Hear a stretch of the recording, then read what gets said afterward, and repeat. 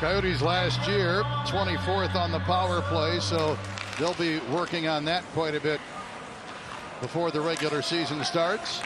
Power play winding down in tight. A chance and a goal! Barrett Hayton took the feed from Keller at the goal line, spun and shot and beat Talbot for the game's first goal. Well, five on five, it was all Kings. And then the first power play for the Coyotes, and they really have taken control. Passes, the movement. First thing you have to do is win a faceoff. You spread out, you go to your spots, but then very quickly, Hayton will get himself a little room. He took one big stride from the goal line below out in front. But then the quick hands, I mentioned earlier the previous save by Talbot, he was in good position, didn't have to move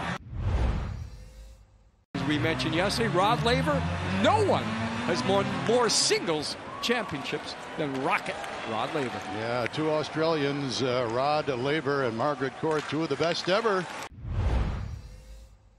Rittich played the third period yesterday, so Todd McLellan, true to his word, Jim, going to play everybody that came on the trip, and uh, all three goalies are going to wind up playing two periods. Yesterday, zero for four on the man advantage. Today, zero for three. Kings win the draw. Spence is out there with Fiala. Up high, Fiala feeds it right side, gets it back from Kempe. To Kempe, one timer. He scores. That didn't take very long. Everyone comes in to help out. There it is right there. It's actually Kempe, the goal scorer, that keeps the puck alive off the faceoff. Fiala goes to the middle. Options right, options left. Decides I'm going the same place I went the first time. 40 plus last year for Kempe. The release and the short side, the placement is important right there because you see Vejmelka. Bill told us the other day, maybe not playoffs, but at the same time, not counting it out. Yeah, they are trending in the right direction with all the young talent. Shot, score! Moverare from the right point. I don't think it was tipped. Jacob Moverare gives the Kings their first lead today. Low corner, watch this, low. It'll go back to high. Gavrikov backs off, and Moverare's one-time shot. Now there's traffic there.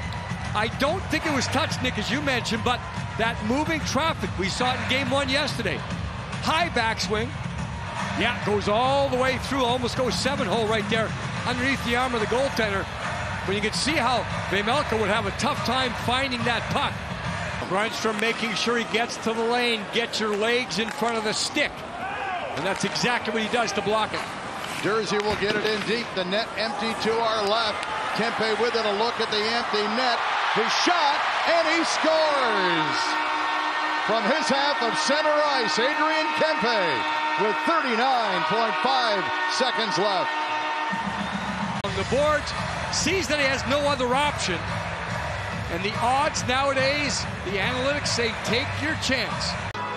Face off to the right of Rittich and off the draw, the puck out of the zone. Two seconds, one, and that will do it.